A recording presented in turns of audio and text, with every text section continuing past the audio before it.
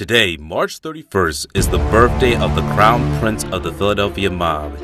He was born into the street life and was the son of the crime boss Philip Chickenman Testa. To the ladies, he was tall, dark, and handsome. To the men, he was known for being one of the most loyal and lethal members of the Philadelphia crime family as their capo regime. This is the story of Salvatore Salvie Testa. Coming soon.